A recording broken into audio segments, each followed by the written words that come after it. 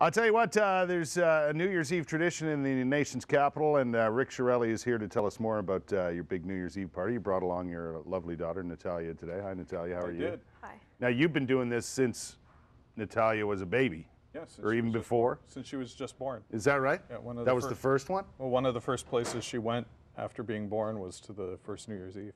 So, how, when's your birthday, Natalia? What month? October. October. So, you were just a few months old when the first one came, came Yeah. along, hey? How about that, eh? Yeah, 20 years you've been doing this. Yeah. Every year at the same location?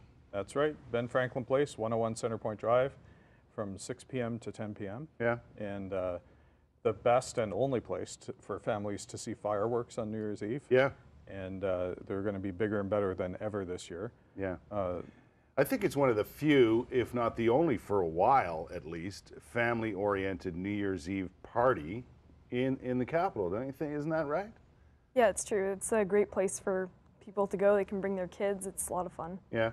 Yeah, and that's the whole idea, right? To give uh, families uh, an alternative to the other New Year's celebrations. and it's all free, except for if you buy food. Right. And even that's cheap. It's But you're going to have food for sale there and all that? Yeah, and the, the money from that goes to uh, Students Against Impaired Driving. Right. And uh, it, because this whole thing started as an anti-impaired driving project 20 years ago. Is I that when you first started? That's what you were doing? yeah, well, I was a low guy on the totem pole on city council then, and Right. ben, ben Franklin was mayor, and he said, okay, Gord Hunter, you're chair of planning, Al Loney, you're, you're chair of uh, finance and administration, Rick, you're chair of anti-impaired driving. Right. Okay, right. so he we gave you a nice a chair anyway. yeah. So we started this, and you know, dozens showed up the first year, but now last year we had the biggest attendance since amalgamation. Yeah, yeah, it gets bigger and bigger every year, even though it's 20 years old. And this is, uh, I just found out from your father that 20 is the Emerald uh, anniversary, right? So you got a Wizard of Oz theme going on? Yeah. And uh, we have, yeah, we have uh, Scarecrow will be there, Tin Man will be there, uh, lots of the uh, Wizard of Oz characters, and uh, we have a big uh, Wizard of Oz skating show at 6 p.m. Oh, yeah? on the rink at Ben Franklin Place.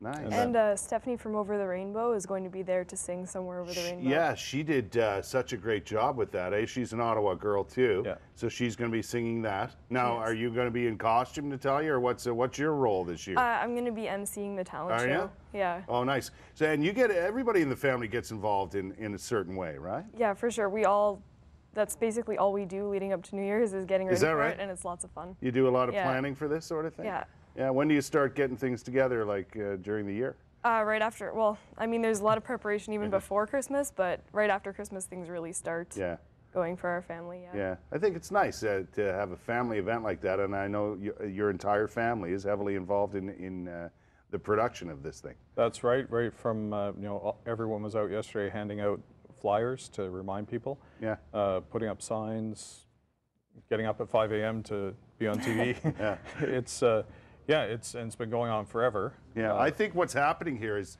uh, uh, Councillor Chiarelli has actually uh, got his daughter in training to take over in College Ward when you're done. Because how long you been a councillor in that uh, in this city right now? I'd have to add it up, but more than 20 years. Is that right? Yeah.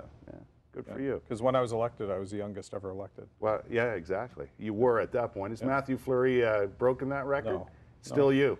Yeah, if I'd been elected when Mathieu was, I would be on my third election Oh, is that right? because I was a teenager. Oh my God. You're making it tough for me to find a spot to run in this town. you know? Okay. I, I can't go I'll move aside gotta- for you. I got to move. Listen, thanks you guys so much for coming by and have a wonderful time on uh, on New Year's Eve. Where can we find out more, Rick? Just uh, so people. Okay, Can, rickchiarelli.com. Yeah. Or at alcoholfreenewyears.com. Yeah. And people should uh, just show up, get there at 6 o'clock, Yeah. see that skating show, and hear Stephanie. And uh, the fireworks wrap up at 10 o'clock, which is midnight in Greenland. right. And uh, we have a little video link with Greenland. Oh, nice. Which, by the way, fun fact Greenland has the same population as College Ward. Is that right? Yeah. That's excellent. Listen, thanks you guys, and have a great time. Happy, Happy New New Year. Year.